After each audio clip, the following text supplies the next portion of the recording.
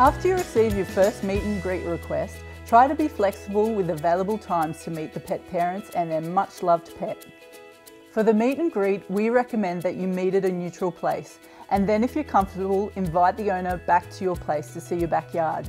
Also make sure that you read the Sitter Success Manual to ensure that you have gone through everything you need to prepare before the meeting. If you get along with the pet and the owner wishes to proceed, then it's a match and you can accept the booking via PetCloud. As a sitter, you get to set your own prices for the services you'll offer.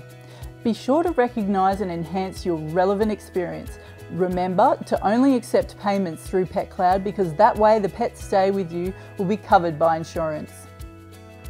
When choosing the right pet sitter, trust is everything.